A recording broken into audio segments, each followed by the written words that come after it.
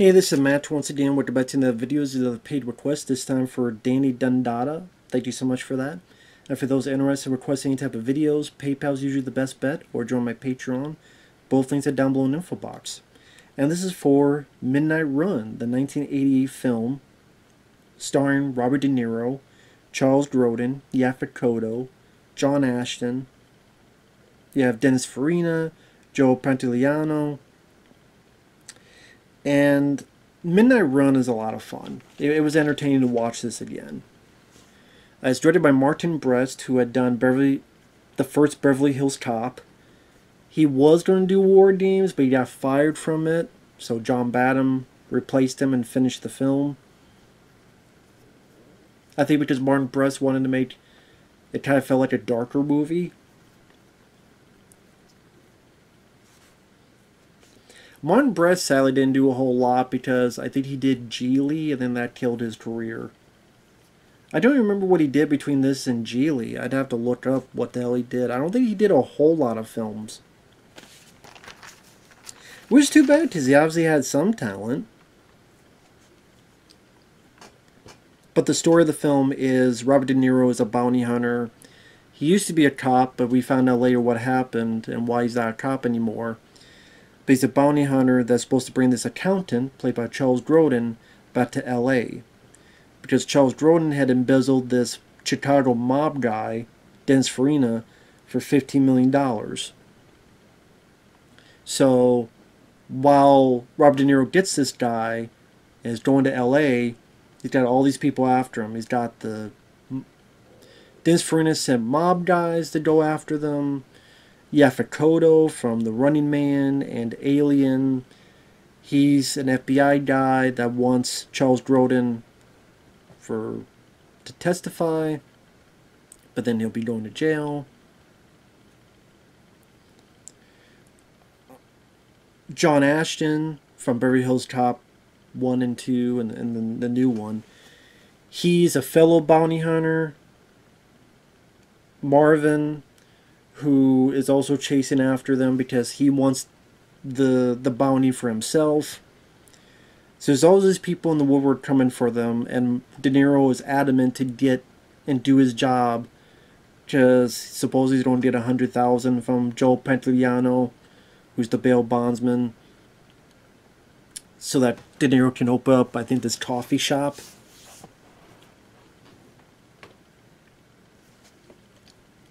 What makes the film work is the cast. And the movie, I think, is pretty funny.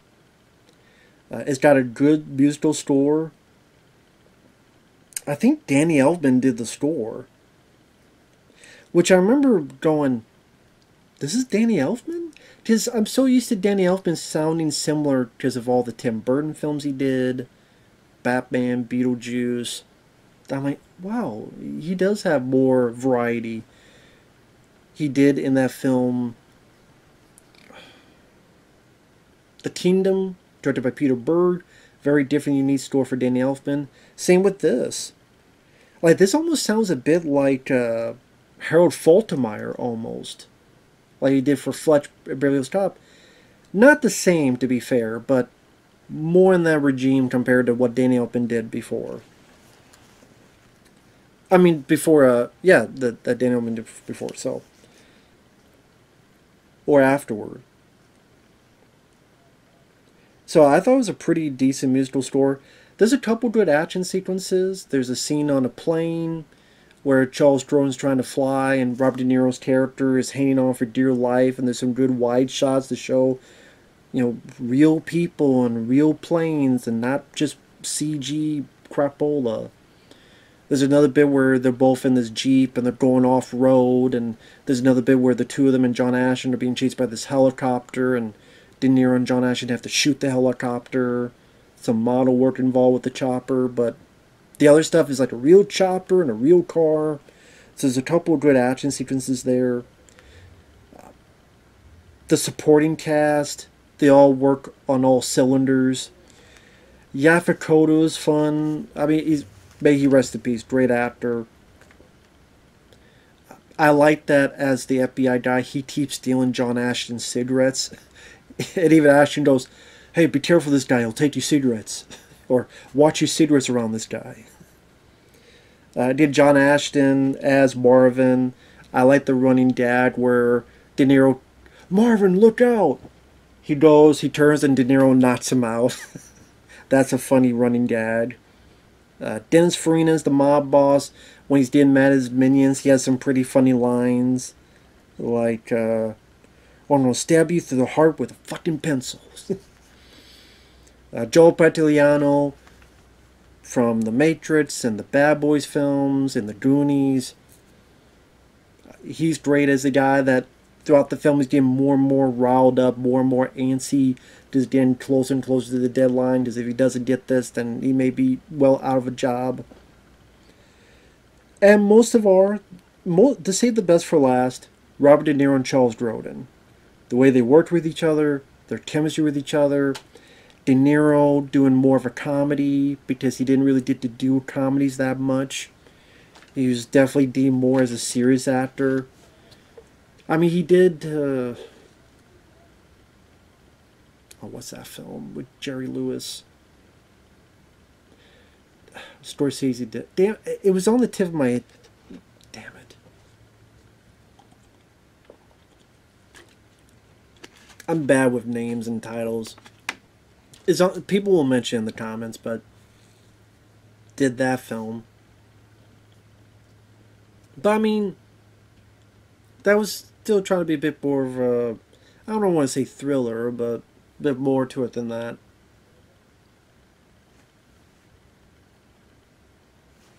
I'll just look it up. What what is that? De Niro, Jerry Lewis, the Tina comedy. Okay. That's what it's called, the Tina comedy.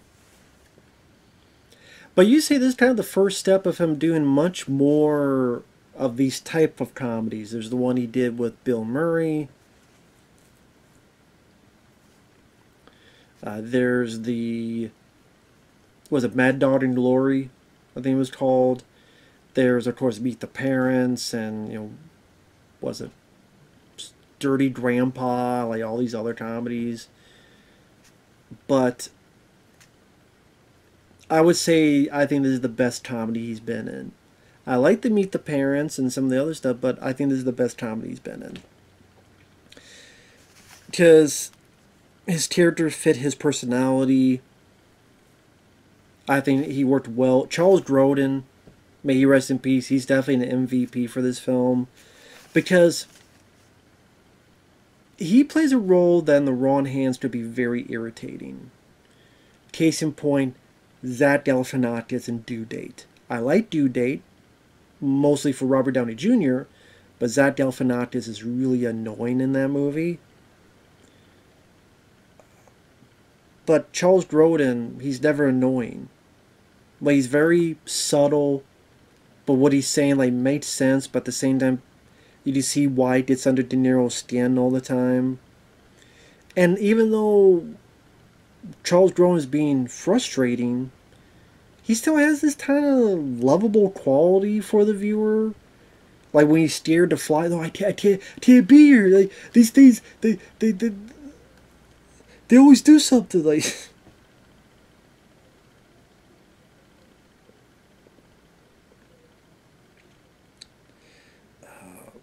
A kid fly's too big. That's what it is. It's too big. It's too big. I can't fly. It's too big. and just allow the little back and forth where he's mentioned all the phobias he has. I have this phobia. I have this phobia. It's like, yeah, if you don't cooperate, you don't suffer from fistophobia. Which I have stolen that line. I've used that throughout my time and doing YouTube reviews. Apparently that duck out there, he's going to suffer some fistophobia too. Punch Donald Duck in the face after this.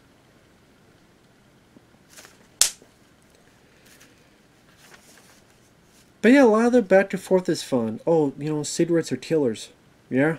So are women. or even little bits without, like, before De Niro finds him, There's this bit that I thought was funny on the plane where he, he took Yaphet Kotto's badge and he's making it like a fake one.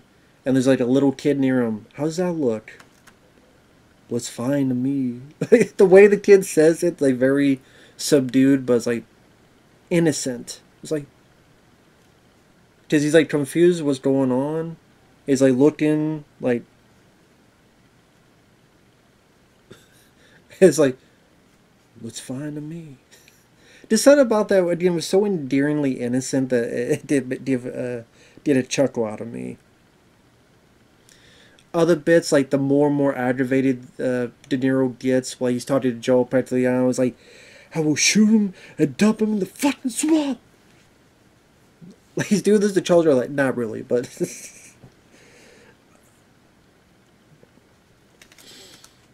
or even when they're yelling about who lied to who first. You lied to me first. Yes? But as far as I knew, you lied to me first. What?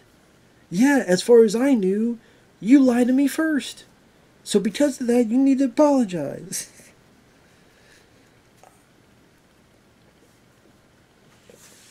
and that's the thing about the film is that you really need two guys to have really good chemistry but you gotta have the one guy not be too stingent and too insufferably either bleak or angry or stubborn to the point he just becomes unlikable to the viewer. Same with the other person where, okay, they, they gotta be annoying the lead character, but you can't have it where they're annoying the viewer. Because that's what Zach Galifianakis failed at. He annoyed Robert De Niro Robert, uh, Robert Downey Jr., another Robert, but he annoyed the viewer as well. Oh, again, I like Due Date because Robert Downey Jr. is every time he snaps, I agree with him, and I live I live vicariously through him, snapping at Zach. But if we're supposed to feel sorry for Zach Galifianakis, the film failed. Here we do feel for Charles Grodin's character. He meant well. He stole the money, but he gave it to charity he kept enough to survive. And it, we did we learned more about De Niro. Uh, he was a cop. He didn't want to be on the take. Everyone everyone else was. He had a few options: go to jail, leave, or, or die. So he had to leave. He has his watch that his ex-wife gave him. At one point, they have to go see her he sees his kid he hasn't seen for a while. It's a rather sweet scene. I like that the daughter then didn't make her where she hates her dad or she's yelling, screaming, being annoying. She seems like very quiet, very shy. Tries to give money to her dad, and dad's like, "Listen, I can't take it. No, please, please, I can't take it. Okay? It's a bit cold outside. Get back outside, okay?"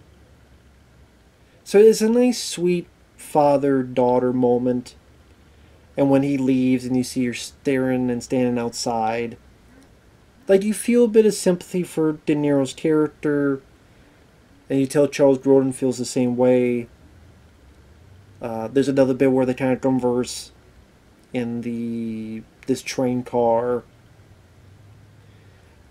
these little moments do matter so that when the finale happens it doesn't feel like it comes out of left field it doesn't feel like it's unearned and by the end, the, the goodbye is a very nice, sweet goodbye. See you in the next life. It is rather sweet. And you know, the ending is not this big action finale, which I was surprised by because it's been a while since I've seen the film, and I usually expect the finale to be like this big shootout, but it's not. It's pretty much this meeting, everyone converges, and then everything's fine. Um, so it makes it a bit refreshing, but I'm, I'm, I'm so used to an action finale that there's a part of me that was disappointed. But okay, you know, it didn't need it. I'm fine with it. But yeah, Charles Grodin, just his kind of little observations about what he eats, De Niro eats and smokes, and oh, I don't know, that's bad for you, man.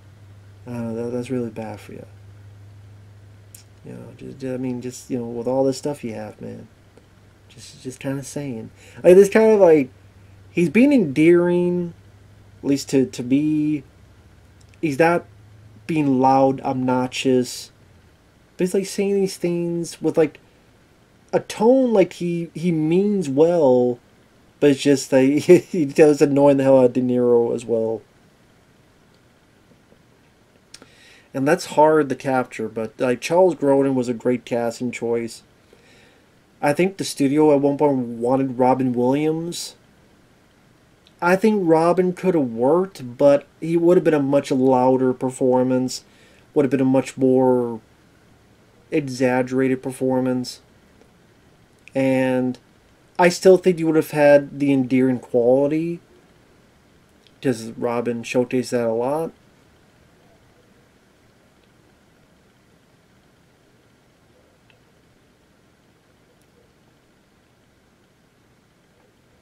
And part of me would like to have seen Robin Williams in there, but I like that Charles Grodin is in it because he did a great job. So, again, there's a part of me that's that what if that I would like to see, but at the same time, I like what we got as well. I, again, I, I still smile at the Marvin, watch out, huh? Which that does lead to selling to the point where he really is, and Marvin doesn't believe it. So it's not just a funny running dad, there's a point to it as well later on. So uh, it's a pretty good script.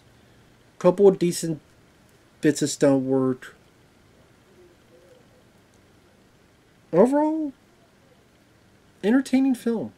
It was a lot of fun to watch this again. Great score. I did this got direct-to-video sequels. I never seen a single one of them. I think uh, Shooter McGavin himself is in it, and Errol Ross from Married with Children. So Christopher McDonald, like they're in it. Again, I've never seen them. Never seen them, so I don't know how they're like. I think there's three of them.